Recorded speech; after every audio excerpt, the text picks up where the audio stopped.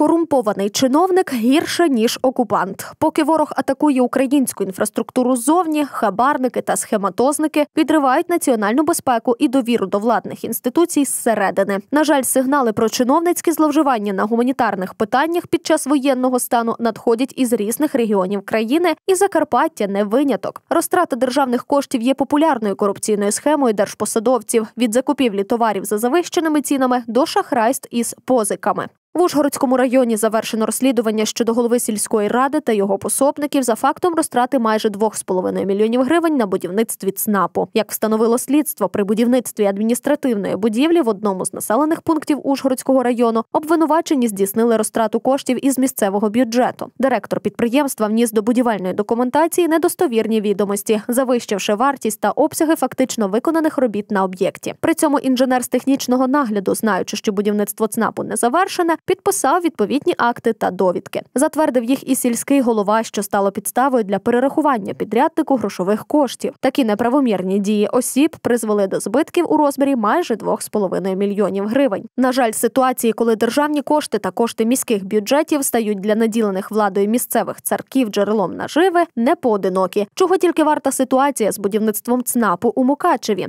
Всі ми добре знаємо, з яким пафосом влада розпочала будівництво нового ЦНАПу. Було багато суперечок стосовно доцільності його будівництва, стосовно нагальності і стосовно суми робіт, яку майже всі експерти вважали завищеною в рази. Але як би там не було, більшістю міської ради рішення було прийняте і почалося спорудження нової будівлі позаду міської ратуші. Договір був укладений 22 червня 2017 року на суму понад 32 мільйони гривень і стов шлях. Вже тоді було зрозуміло, що даний Цей договір має ознаки корупційної складової. Адже як може тендер на 32 мільйони гривень виграти підприємство зі статутним фондом у 20 тисяч гривень, а тендерні кошти у декілька разів перевищували максимальний річний дохід. Але роботи все ж розпочалися. Будівля століття саме так тоді у народі називали цю справу. Адже кілька років ремонт ніяк не могли завершити. І щоразу міський голова звітував, що винні підрядники або ж не вистачає коштів. І виникає питання для роздумів: якщо на будівництві будівництві ЦНАПу у селі вдалося вкрасти з бюджету майже 2,5 мільйони гривень, то наскільки висока вірогідність, що на будівництво ЦНАПу європейського містечка за кілька років ремонтних робіт вдалося розтратити ще більше? Нічого не стверджуємо, але теорія вірогідності річ цікава. Ситуації з розкраданням коштів з міського бюджету та сумнівних будівництв змушують замислитися над питанням відповідальності за економічні і гуманітарні злочини. Адже зараз, під час повномасштабної війни, Україна як ніколи має бути сильнішою за ворога не лише військово, а і економічно. Боронити економічний сектор у воєнний час окрема відповідальність, про яку має пам'ятати кожен посадовець.